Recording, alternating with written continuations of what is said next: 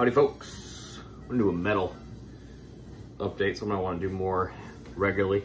Talk about more metal on the channel. Metal's where I came from, metal's what I uh, end up going back to in my uh, in times of need. Although I go through phases, you know, I've kind of uh, I've kind of just become a country guy since since uh, COVID. Um, like my country listening and fandom has gone way up. Um, but uh, Metal Man, there was a there was a dude. I don't know if y'all remember, but there was a dude on uh, old VC guy, Biosite One. I don't know what he is up to now, and I forget his name. But Biosite One, he was the metal and country guy. He would do like metal hard rock vinyl updates, and then uh, honky tonk country updates. Good dude. I found a lot of cool music from watching his channel. I hope he is well. But uh, yeah, I'm gonna do a metal update. Bought a lot of metal recently. Going to a lot of metal shows. Um, and we're gonna keep the, the metal keep the metal alive. Just the only thing that makes sense to me in this crazy world. Um, uh, normally I do these alphabetically, but I'm kind of doing them by where I picked stuff up from.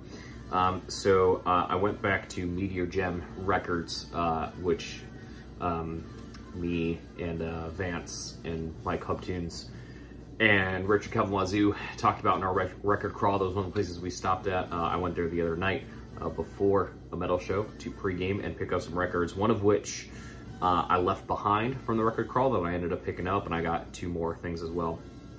So the one I left behind that I circle back to is uh, the new Crowbar Zero and Below.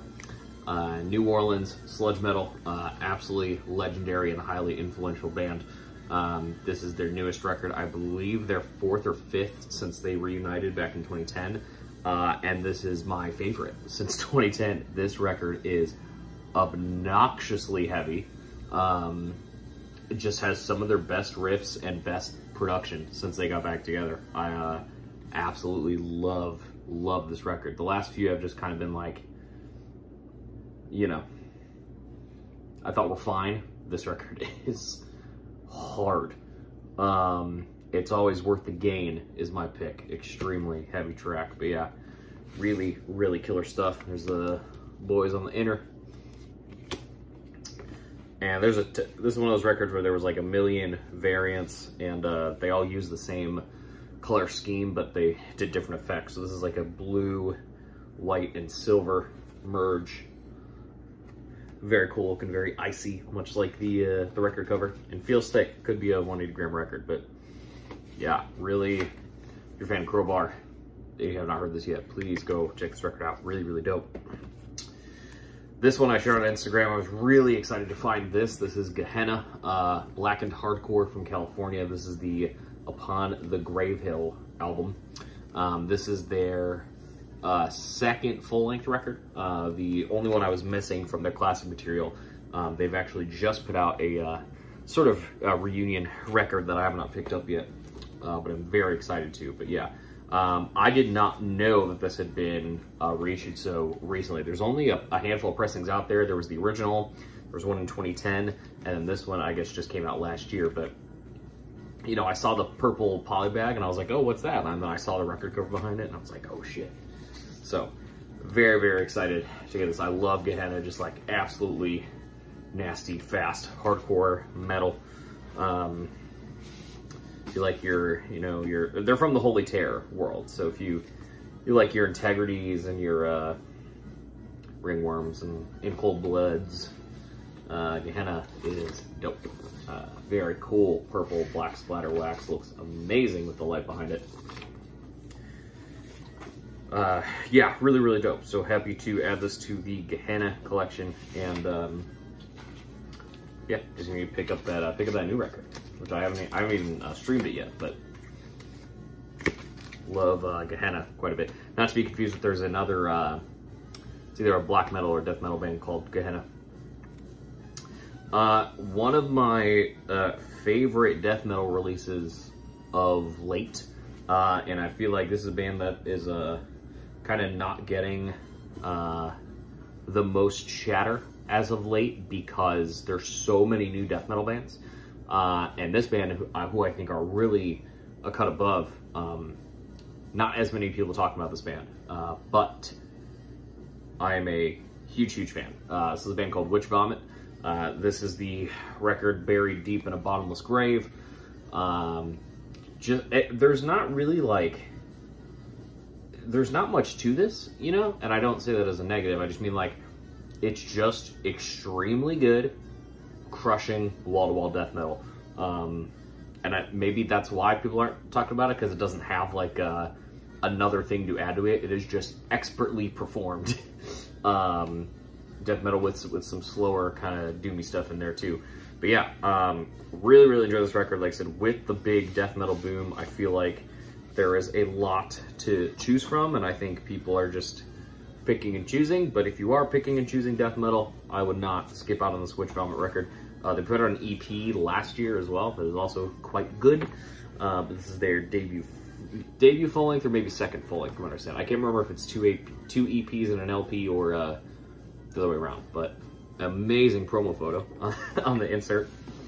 Um, and I was waiting to get a color variant of this. Uh, this kind of counts as a color variant. Uh, it's one of those that, uh, you know, I'm sure they thought it would be a cool concept and it didn't really pan out. But it's like a red and black galaxy but it's also translucent, so you really can't see the galaxy unless you hold it up to the light. But I do like the kind of one streak of blood in there. It almost kind of looks like, uh, I don't know, like Armageddon or something. Like the world's like bursting apart, but still cool looking, still uh, still color wax. Um, but yeah, very. This has been on my want list for a while. Just been waiting to track down uh, the color vinyl. So happy about that. Witch Vomit very strong LP. Um, all right, couple on, uh, most of the rest of these are online finds from various places. Uh, Newbury Comics had a, uh, their yearly 25% uh, off sale. I did not go as crazy as I thought I was going to go. Uh, I wavered back and forth about what I was going to buy a bunch of times, and it was one of those things where it's like, I, I have to get something because the sale is too good. But, um, uh, I limited myself. I only got two records. I got one non-metal record. This is metal adjacent, uh, but something that is like a crucial element to to me uh, personally that uh, has got to be my vinyl collection. Uh, so this is a band Harm's Way. This is their album Isolation. This is the 10th uh, anniversary Redux edition. Um, so remastered album on disc one, and then some bonus remixes uh, on disc two. You got Dylan Walker from Full of Hell, Justin Broadrick from Goldflesh, Godflesh, excuse me, and uh, Petbrick, which is uh, Igor Cavalera, his uh, his noise project. And Andrew Nolan, which is a name I recognize, but I don't remember his uh, his project. But very nice, Stoughton gatefold. Uh, Harm's Way is legendary Chicago hardcore, uh, but they also mix some real heavy metal stuff uh, in their music as well. Very nice spot gloss gatefold. This whole package is like so killer. And one of the reasons I picked this up is because it seemed like it was already on sale before the sale. So I think it ended up being like 11 bucks after the sale. Just like something I was not going to be able to pass up. Um, and unfortunately, I've like, I had Harm's Way vinyl in the past and I just don't have any anymore. They've kind of just faded out of the collection, but I need to get the other Harm's Way records. But I figured this would be the best place to start. Um, so we've got a white and silver record. Kind of uh, looks like that crowbar. And then there's also a black and silver record, which is the second LP. Which I'd kind of forgotten about because the hype sticker only says white and silver, but I think the hype sticker is in this print. There's that black and silver, which looks really dope. Yeah, Harm's Way Isolation. Uh, this is their second full-length record. Um, so, so, so good. Uh, happy to have this in the collection. I got to circle back around, get the other Harm's Way stuff. But yeah, extremely heavy, crushing, uh, hardcore. Um, but uh, has got some, you know, again, very metallic, very metallic. Classic Chicago band. Uh, some more Chicago metal. Um, so th this is, these two I records I really lucked out with, and this type of thing never happens to me. But um, I got the first two albums by the band Relayer, um, which is a uh, Chicago-based uh, post-metal and uh, kind of progressive metal band. Um, it is uh, Trevor de Brauw, who's the main cap from Pelican, uh, a legendary Chicago uh, post metal and, and stoner metal band. Um, this relayer is a little bit more progressive and uh, it's still heavy, but it's way more like entangling, you know. Um, so they just released a new record that I was really excited about, and it uh, made me reflect on the fact that I never uh, bought the first two albums on vinyl. Uh, so I tracked them down. Uh, this first one I got for, directly from the band's Bandcamp. They said they had exactly one copy left. So uh, I said, I will take it. And uh, since they only have one copy left, I might as well see if I can find their their second record, Actual Existence, uh, which I'll take out of the sleeves outside glaring. Uh, I ordered that from the Napalm Records distro. Uh, also, they only had one copy left. Not only that, both pressings were marked as black, and I got out of print color variants on both, which was very, very exciting. Um, usually it's the way around. Usually I end up ordering a color vinyl and it shows up black on accident. Uh, it's very rarely the opposite, so I got very, very excited. So this is uh, the first LP, uh, Delayer is the name of this album, on clear vinyl. Looks very cool. This is released on Magic Bullet. Uh, I completely forgot to put this out. When I got it in the mail, I was uh, surprised that it came in a Magic Bullet uh, mailer. Because I was like, I think I just ordered this from uh, from the, the band, but one of those like band runoff band camps. But yeah, uh, Delayer by Relayer. Um, first LP on Clear. And then the second album, Actual Existence. Yeah, really good, just like very long, like stoner metal jams. Uh, really, really dope. Some very cool, nice kind of mint green marble on this too. So lucked out on both of them with the uh, with the color wax. Was very, very stoked on that. Uh, but yeah. So excited to have these relayers. Uh, the new relayer album, which is self-titled, uh, does not have any vinyl pressing stuff yet.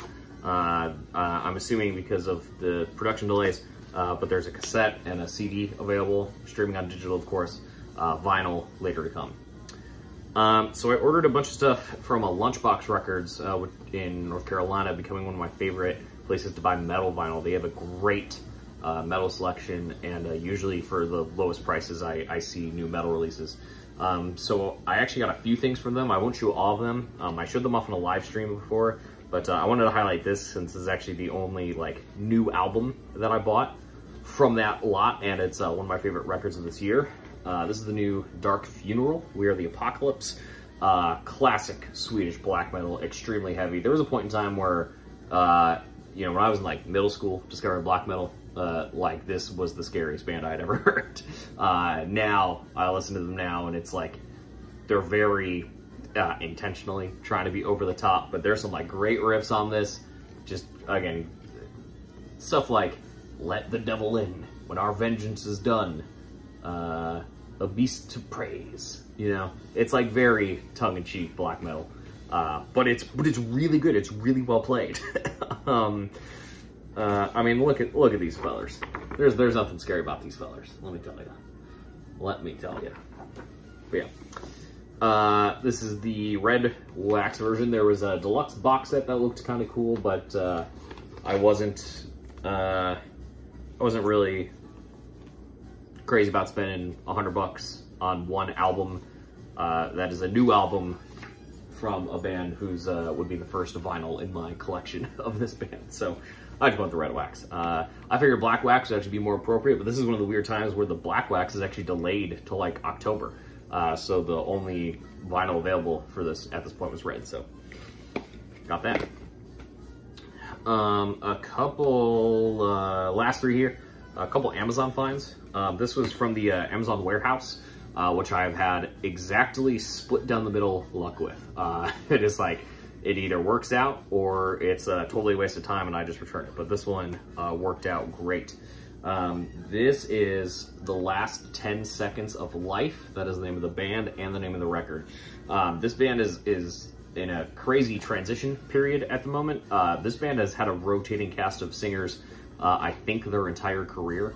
Um, but this record came out in like January, February this year. They went on tour with Cattle Decapitation And uh, after the Cattle Decapitation tour, it was announced that every member of this band quit except for the guitar player.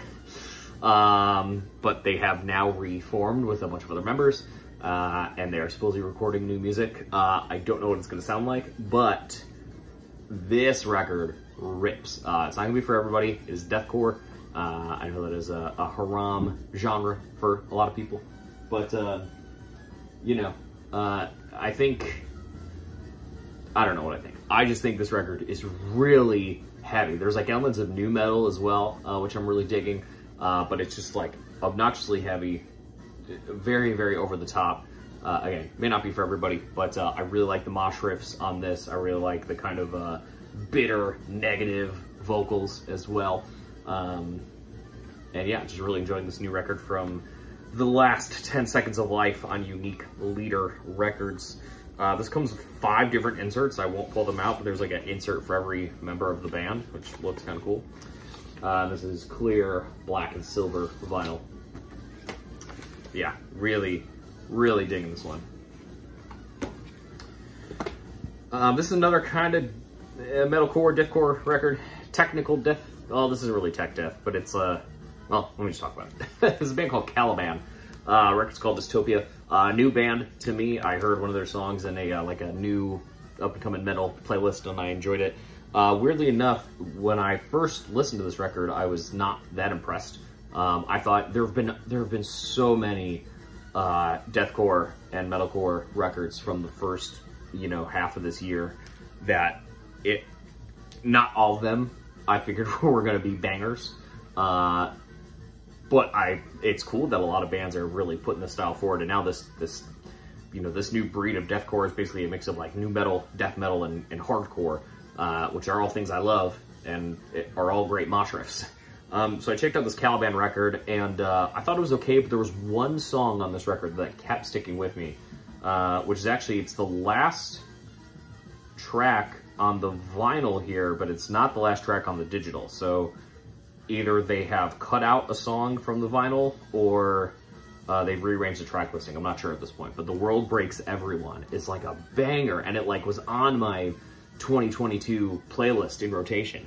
So I went back and I listened to the record again and I actually really dug it after listening to that song a bunch of times. Um, yeah, really good. Uh, a bit of industrial elements as well, but just really good, heavy uh, mosh riffs, um, death metal, hardcore mix. Really, really good. Love that record cover as well. Uh, this has a poster and a booklet and a whole bunch of goodies on uh, this pink and black marble wax, which looks very cool. Um, but yeah, I uh, I am digging this Caliban record. I have not heard a lot of people talking about it, but uh, I uh, I'm really digging it. Uh, and then I got one uh, one new Walmart record. Uh, picked up Korn, Follow the Leader. Uh, Korn is a band who was my favorite band for a brief period of time in middle school. Uh, when I got into high school and started getting into more like thinking man's music, I kind of, you know, I, I shoved Korn out of the way. Um, but Korn, that was also when Korn was making like their worst music of their career. Uh, and then right out I got out, right as I got out of college, uh, was when they put out Serenity of Suffering, which was like the first like return to form Korn record in a while. And then I was all in on Korn again. Um, so I know all their records have been going through a reissue campaign lately, um, but this is a newly released uh, Walmart exclusive on Red, which I have not even opened yet. So let's crack this open and see what this looks like here. We got two custom inner sleeves, look very nice. And clear red wax, which also looks very nice. Korn's Issues was one of the first three albums I ever bought on vinyl with uh, my own money, like way, way back. Um, and uh, I unfortunately don't have that anymore, so I would love uh, to see a colored reissue of Issues at some point, but uh, at some point I just need to actually get the Issues record. But yeah, Korn Follow Leader, this is the classic. This has all the hits, Freak on a Leash, Got the Life, Children of the Corn, Dead Bodies Everywhere, All the Family. Um, yeah, you know, classic, classic heavy nu metal. Um, happy to have it. That's it.